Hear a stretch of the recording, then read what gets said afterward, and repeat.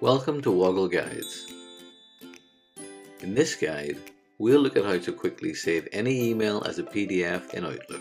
Let's get straight into it. I'm logged into Microsoft and in my Outlook inbox on the web.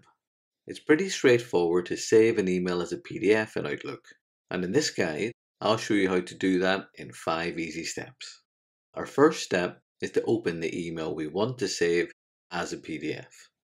I can do this just by clicking on the email to display it. I now want to display some more options for this email, and I can find that in the top right of the mail. There are a number of icons shown here, but we're interested in the three dots or ellipsis icon. If I move my mouse over that, you'll see it shows more actions. So let's click on the more actions icon to see those options. From the list that is presented, if I move down that, you'll see there's an option to save this email. Do not click on this. Choosing this will only give you the option to save the email in a standard email format that you can reopen in an email client.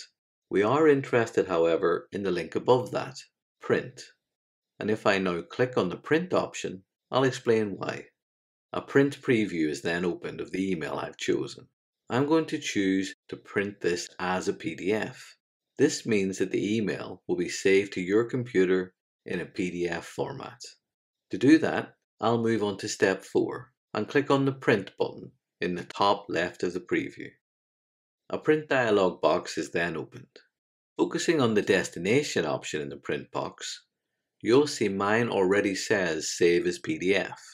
If I click into that box, you'll see that's because I do not have any printers installed to work with my computer.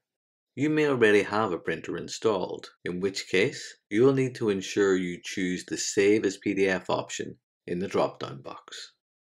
Once that's been done, the last step in the process is to save your email as a PDF by clicking on the large blue Save button at the bottom of the window. Outlook will ask you to confirm where you want to save your PDF to, and once you're happy with that, click on the Save button to confirm. If I now display my desktop, you'll see that my email is saved there and can be opened and read in a PDF format. I hope you found this Woggle guide useful and learned something new. If you have, please like or subscribe for free so that you can find out when new guides are available. Thanks for watching and do look after yourself until next time.